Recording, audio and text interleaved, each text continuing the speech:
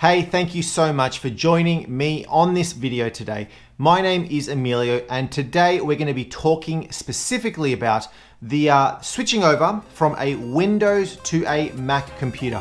What are the, some of the differences that you need to know about? We're going to be talking about that right now.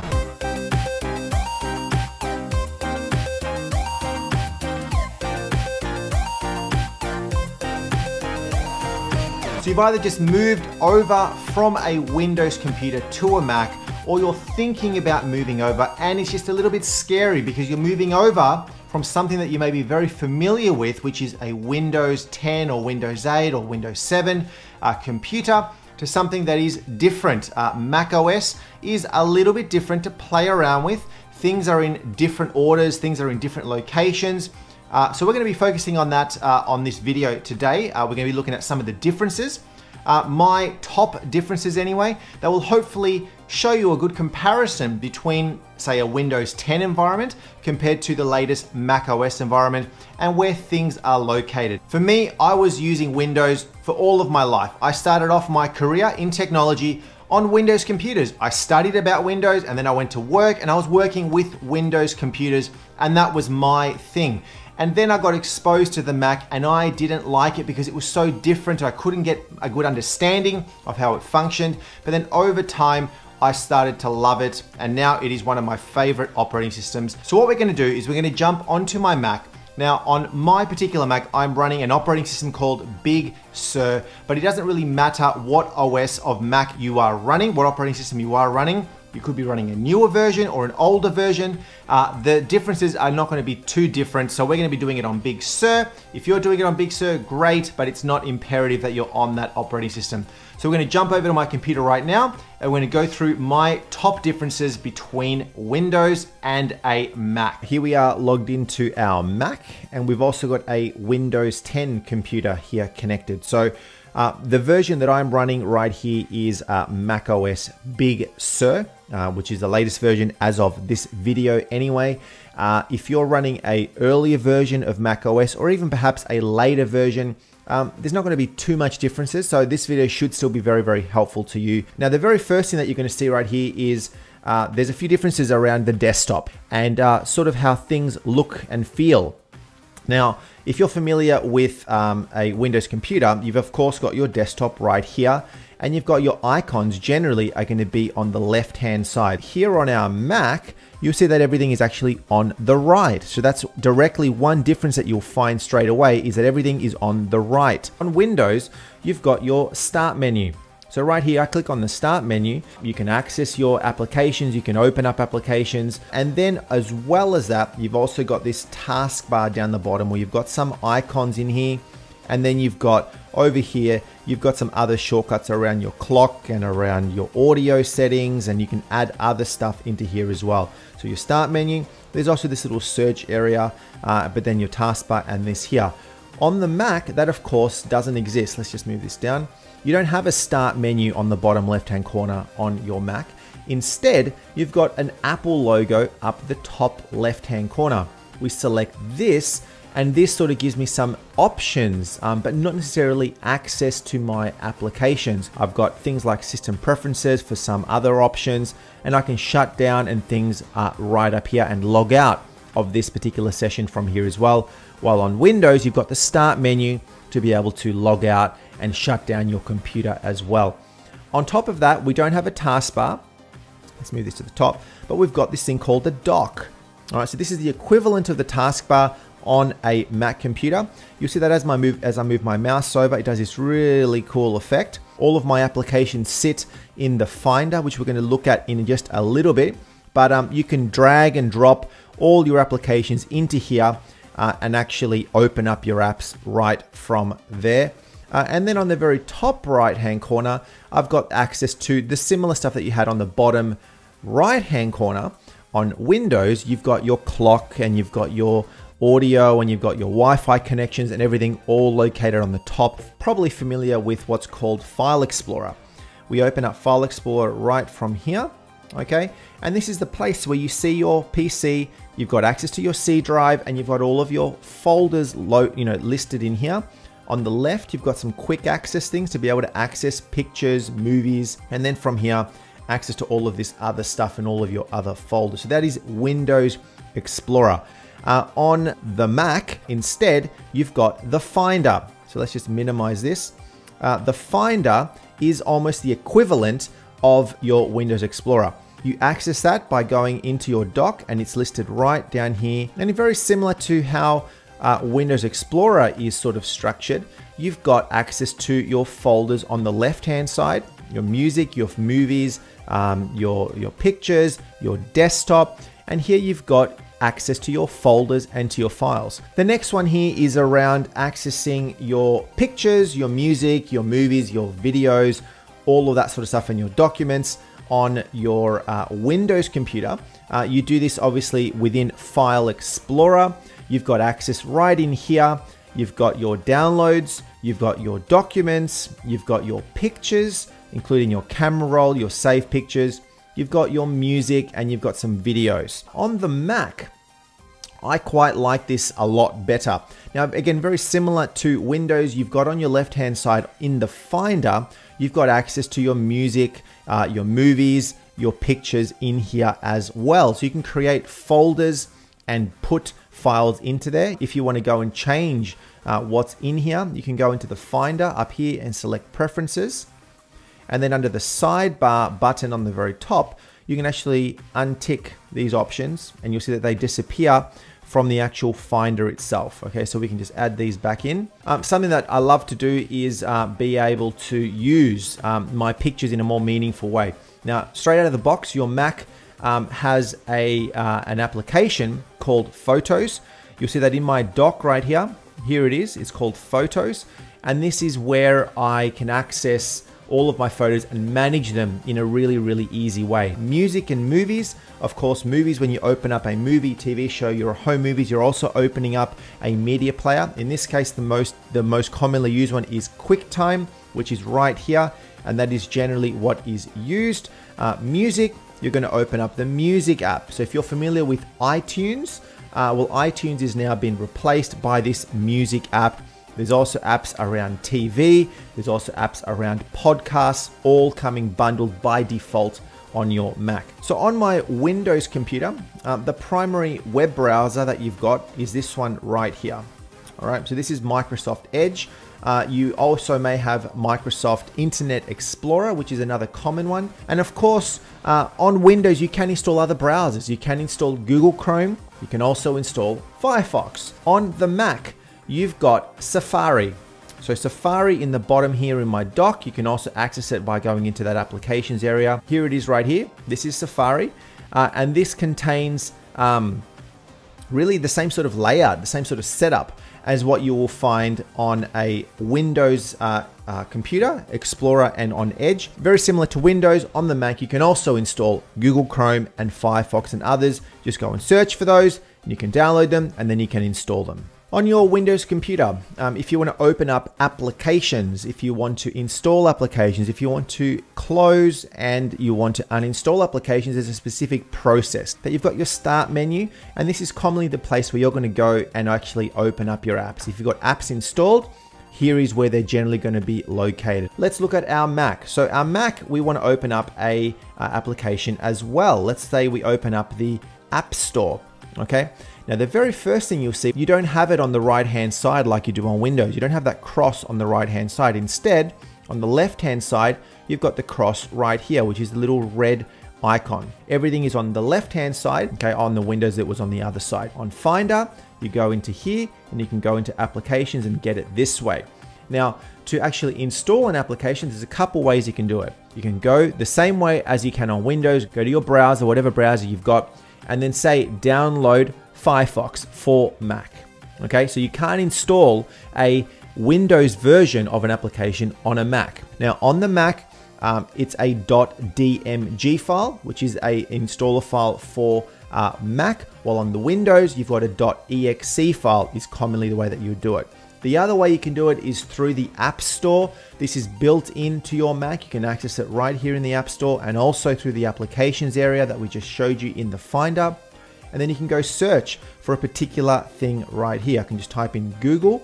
It's going to go and search for Google, and you see that right here, it's found a whole bunch of apps, including Mail for Google.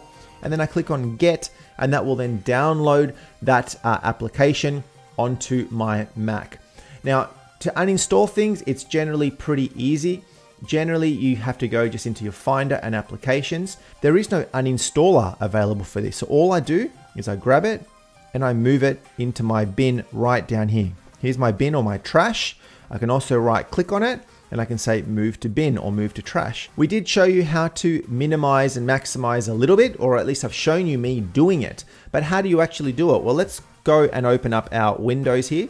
Now on Windows, uh, we already know that we've got that cross on the right hand corner. You've also got this enlarge thing to make a item full screen or minimum screen on the on the right hand side. And then you've got this little minus to actually minimize it. On the Mac, here I've got this terminal window open to my Windows computer, but you'll see that these icons are now on the left.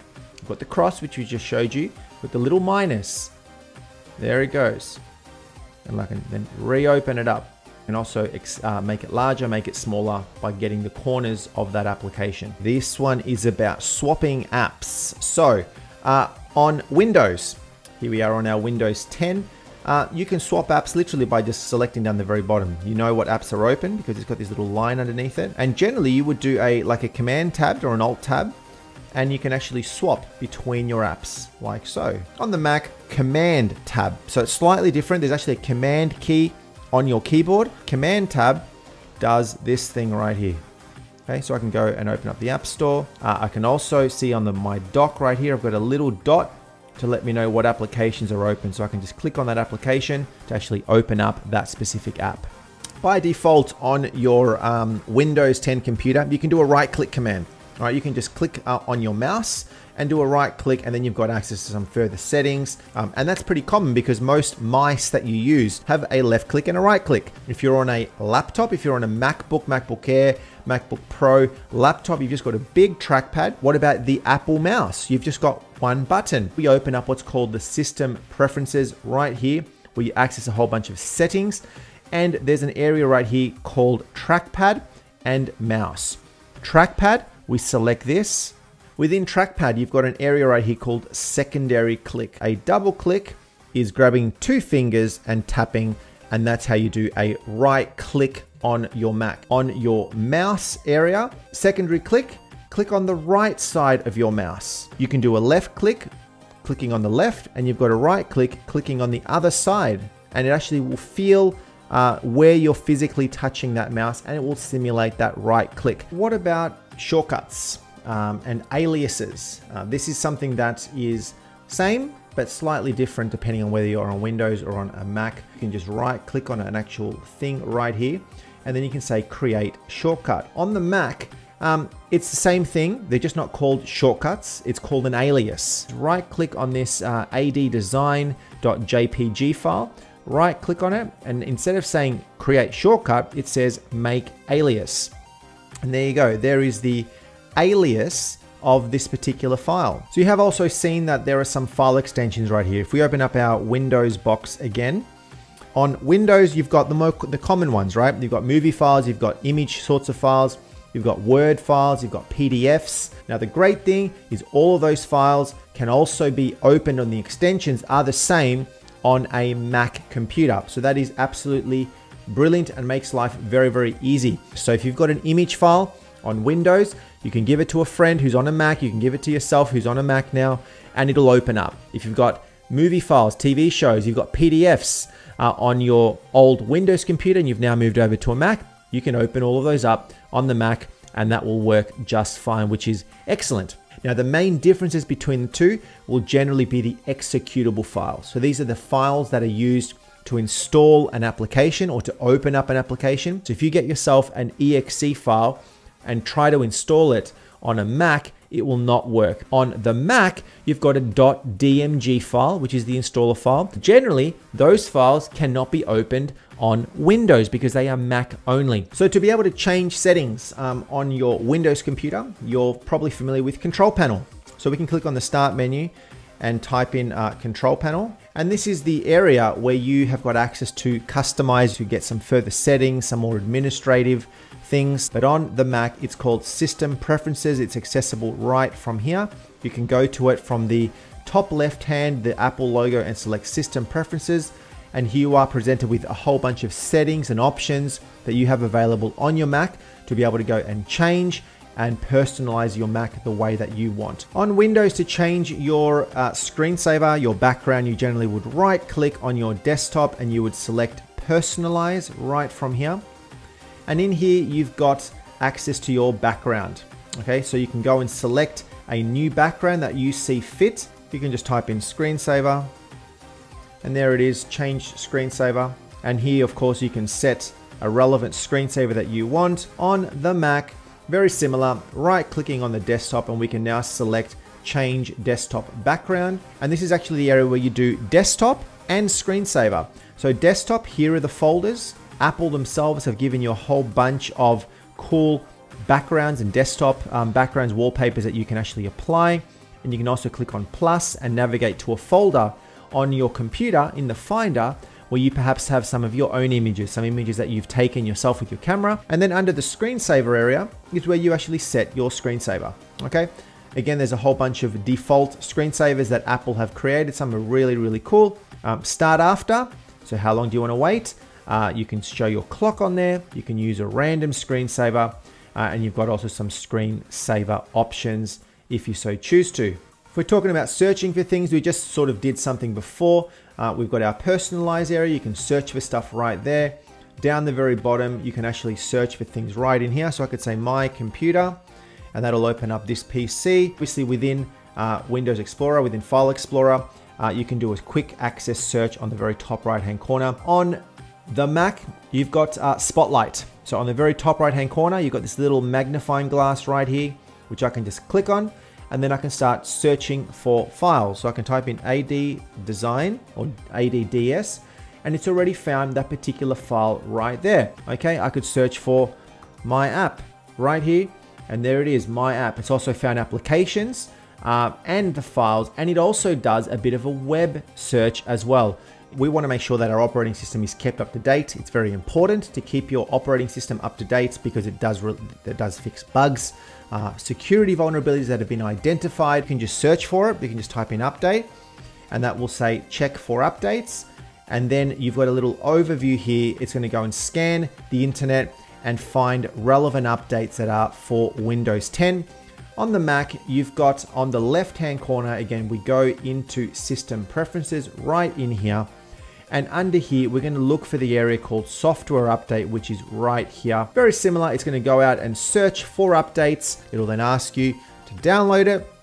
You then download it and then you restart uh, your Mac at the end of that. Uh, that software updates. You've also got app updates that you'd all do through the App Store. So if you do have applications that you have uh, loaded onto your Mac, you can select updates once you open up that App Store and it'll show you apps that perhaps need updates and you update them through there. We've talked about all the software stuff, but now we're going to look at the hardware specifically. One of the great things about the Mac is that Apple makes the hardware and Apple makes the software. Now, of course, inside of a Mac computer, there are lots of components, right? There, there's a CPU, there's RAM, there's hard drive, and all of those are specific brands. But those components have been selected and tweaked specifically for the Mac. The Mac have been put, the app Apple has put together the Mac, the look and feel, the hardware, the, the way that it functions, the, the, the, the touch, the keyboard. They've also done the software so you've got better compatibility. So you've got one company, being Apple, who look after the hardware and look after the software. On Windows, of course, it's slightly different. Um, yes, Microsoft does have uh, a Microsoft tablet called a Surface, um, but commonly you're going to go down to a PC store or be given a Dell, a HP, a Lenovo, uh, and these are not Microsoft. And then you're going to be installing Microsoft Windows 10 onto that hardware. So sometimes you need to install drivers because you now need to get your Dell computer to be recognized, all of the hardware in that Dell computer to be recognized by Windows 10. But they're the main differences, right? You've got all these different manufacturers making laptops and desktops, and then they're running Windows software, while on the other side, you've got Apple who makes both the hardware and the software. So as I said at the start, I used to be a die-hard Windows only person, not liking the Mac because of the differences. I didn't know how to use it, but hopefully some of these tips uh, helped you out to sort of understand the differences, at least some basic differences between Windows and the Mac.